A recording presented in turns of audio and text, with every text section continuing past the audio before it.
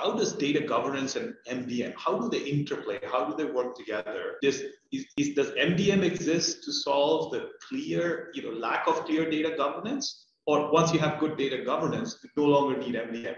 Can you help us understand the interplay there? That's a great question. And uh, having lived through various evolutions of MDM and data governance as you know overarching concept, my take on this is that it is an ever evolving continuum mm-hmm. where these two things have to go hand in hand. Because you know, think about it as an example, data quality. What is good enough?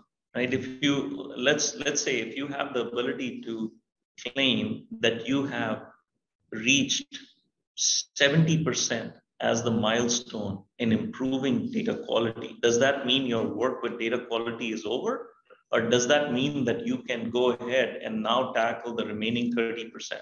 Or, you know, instead of tackling all of the 30%, you will say, I have to improve it from 70 to 75, 75 to 78 and you keep making incremental progress because in these areas there is a long tail of opportunity and uh, effort that is involved with it.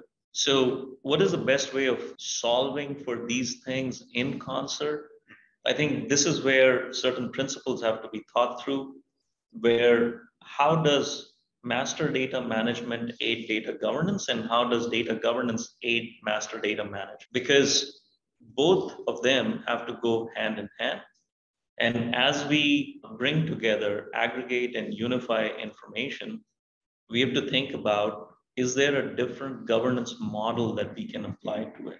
Because instead of being, being fragmented, siloed, data spread across all different systems, even if you put system of governance and system of curation in place, which is the master data management system, then you have to think about how the data governance policies will drive the continuous improvement on top of it.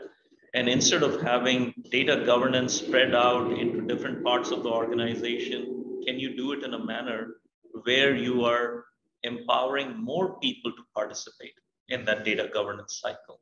Right. So essentially, taking it from a small number of people to democratizing data governance, where you know if if we are working with the business on a specific let's say customer mm-hmm.